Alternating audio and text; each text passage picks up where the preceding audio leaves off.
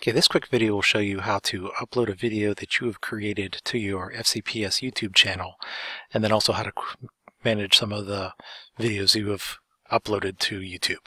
So I've got a video saved locally that I want to publish. So go to YouTube and sign in in the upper right hand corner, and then log in with your fcpsschools.net credentials.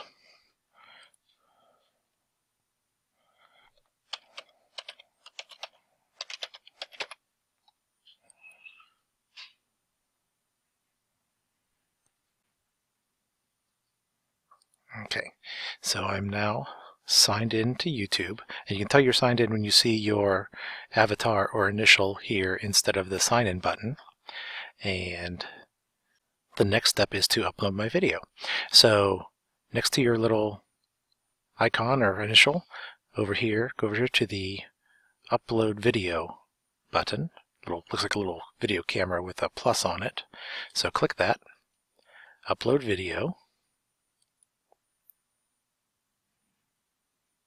You can either just drag your file onto the screen or you can navigate to where it is saved and select it that way. So it is on my desktop. It is this clip. So open. Until it's uploading. Also on the screen you can give it a title.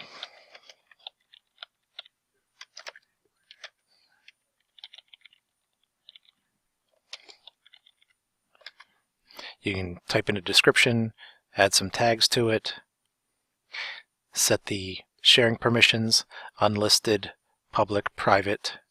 So um, public videos can be seen and shared by anyone on YouTube. They'll show up in other people's searches. Unlisted videos can be seen and shared, but you have to have the link. So they will not appear on your channel page and won't show up in search results. Private videos can only be seen by you and maybe individual users you give permission.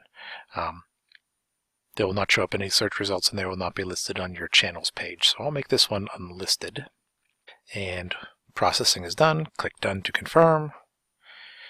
There's the YouTube link for it and that's it. So I've uploaded it. So if I want to manage the videos I've uploaded, you can click on your little face or icon and go to YouTube Studio, which is right now in beta, but go to YouTube Studio. And then from this dashboard, right underneath that there's a link for the videos you have uploaded. And here this lists them all. And you can change their you can change their visibility status unlisted public private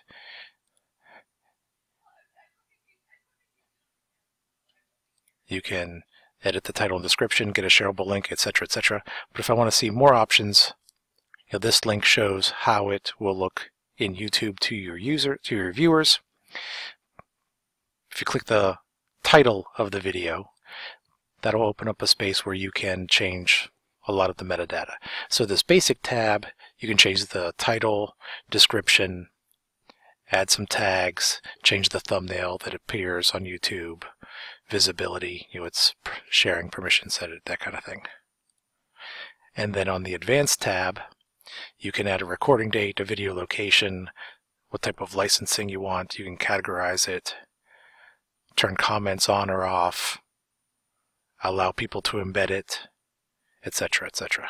So when you make those changes, click Save, and that changes the video's metadata.